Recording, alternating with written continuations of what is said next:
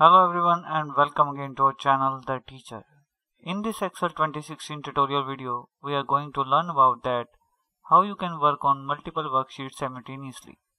I was thinking of creating this video when a few days ago I need to print an entire workbook consisting 33 worksheets.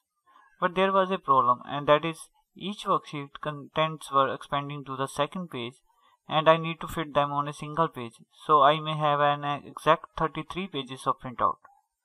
The contents could be easily adjusted to a single page just by adjusting the margins or by reducing the scale to 95% from the page layout tab.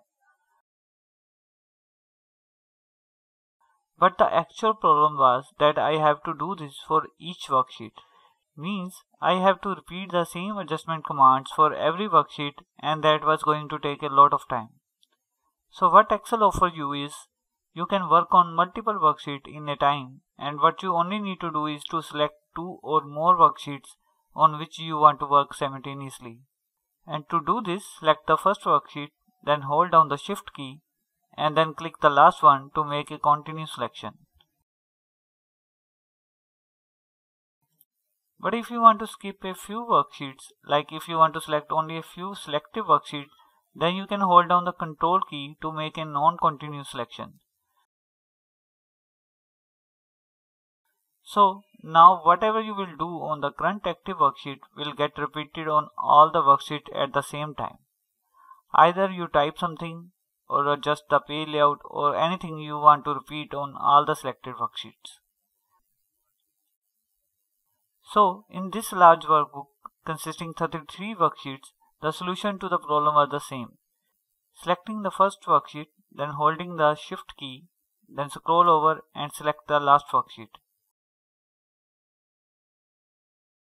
Here I can adjust the contents either by adjusting the margins or even by reducing the scale to 95%.